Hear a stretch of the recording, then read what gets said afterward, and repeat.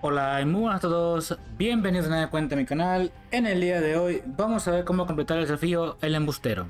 Como podemos ver, en su último nivel nos pide que consigamos 100 bajas con artefactos. Lo primero que debemos de saber es qué son los artefactos. Los artefactos vienen siendo lo que antes eran los mejoras de campo en Cold War, por lo menos en, en este caso en estos zombies. Y como pueden ver aquí tenemos 4 disponibles. Tenemos la mina de energía, manto del éter, cinturón de fuego y estallido de escarcha. De estas cuatro yo le recomendaría la mina de energía, ya que es la única específicamente eh, que nos produce un daño como tal.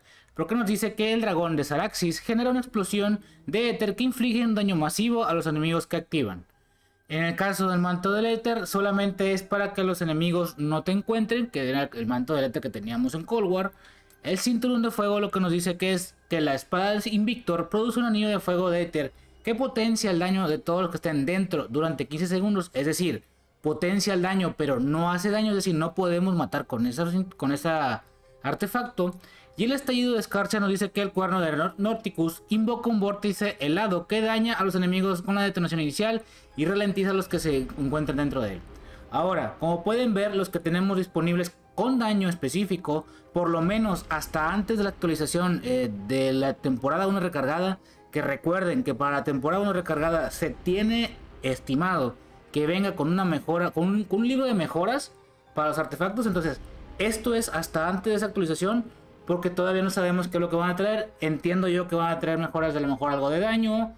El cinturón de fuego, eh, recuerden, en Cold War hacía daño también. Entonces yo creo que va a, a ir un poco por ahí. El estallido de escarcha va a venir con más cargas, va a venir con un poco más de daño cosas por el estilo. Y pues el manto de otro, sinceramente, no sabía que podían mejorar. Tal vez el tiempo que dure oculto, pero pues fuera de eso, no creo, no creo que nada más puedan arreglarle. Entonces, de estas cuatro ya descartamos manto de éter, cinturón de fuego. Tenemos estallido de escarcha y mina de energía. El estallido de escarcha, como pueden ver, dice que hace daño a los enemigos, pero con solo la detonación inicial. Y realmente el daño que hace es muy mínimo. Entonces, yo le recomiendo en mi particular opinión la mina de energía, ya que hace un daño masivo. Es decir, todos los zombies que estén dentro de su rango, obviamente con una vida moderada, tampoco se, piensen que a los zombies especiales les pasa esto, eh, los va a matar de un solo golpe. Eh, el radio no es muy grande, pero eh, si lo hacemos utilizar muy bien, podemos llevarnos 5 o 6 por cada carga de energía y la recarga como tal de esta mina de energía es bastante rápida. Ahora, mi recomendación va a ser que lo utilicen desde la ronda número 1. Es decir, vamos a utilizar una arma que tenga eh, este artefacto equipado dentro de nuestra clase. Y lo que vamos a hacer es buscar eh, el objetivo de cosecha. Ya saben que eh, todos los objetivos tienen diferentes formas de realizarse. Y en este caso el objetivo de cosecha lo que nos pide es que vayamos recogiendo runas y colgándolas en, en, el devorador de almas. yo les recomendaría, si están con alguien más, es mucho mejor porque va a ser mucho más rápido. Pero si están solos, eh, vayan hasta la tercera devoración de, almas. Es decir, carguen la primera con 5 runas, la segunda otra vez con 5 runas. Y en la tercera esperen a ese spawn, porque ese spawn va a ser el más rápido. Eh, yo en mi caso particular estaba con otra persona, en este caso con Juan, eh, y estuvimos aguantando esa ronda para conseguir algo de, de puntos desde ronda número 1 para poder hacer pack a punch en, las armas eh, y pues fue bastante sencillo conseguirlo.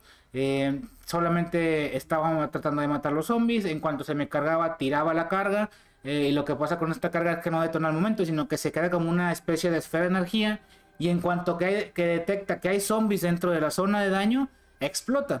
Eso es lo más interesante porque lo que pasaba con la mina de energía en, en Cold War era que tú lo lanzabas y en esa zona en la que caía, ahí explotaba el momento. A diferencia de esta, tú la lanzas, se queda una mina de energía, una buena bola de energía. Y después de eso, cuando detecta zombies, es en el momento ese en el que explota.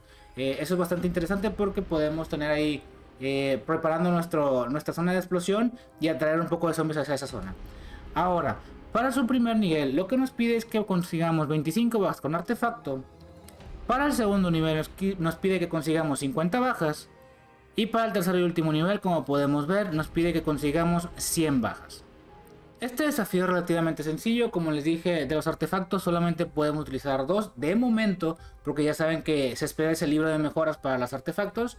Eh, por lo menos es lo que yo entendí, que van a tener mejoras, que no recuerdo cómo se llama el libro, incluso ya lo dijeron en las notas. Eh, pero se supone que llega en la temporada 1 recargada junto con la pausa, que eso es una vergüenza que no esté todavía.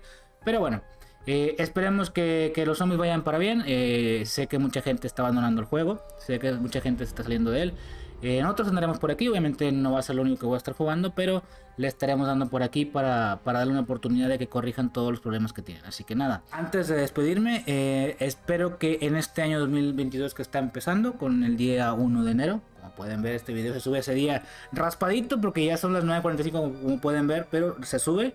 Eh, mi objetivo de este año es poder conseguir un video diario por lo menos para compartirlo con ustedes. Y mis mejores deseos para todos ustedes, que tengan un muy bonito año. Esperemos que vaya mejor para todos y que pues nada, que puedan lograr todos los objetivos que se hayan puesto en, meta. Y pues espero que no se hayan atragantado con las uvas, porque eso es muy malo empezar con las uvas atragantadas en el primer día del año. Y pues nada, yo de momento me despido. Espero que les haya servido, que les haya gustado. Coméntenme algunos propósitos que se hayan puesto para este año. Yo también les pondré por ahí en, los comentarios mis propósitos de este año. Y esperemos cumplir, por lo menos si no uno, dos, todos o ninguno, pero tratar de intentarlo. Así que nada, yo de momento me despido.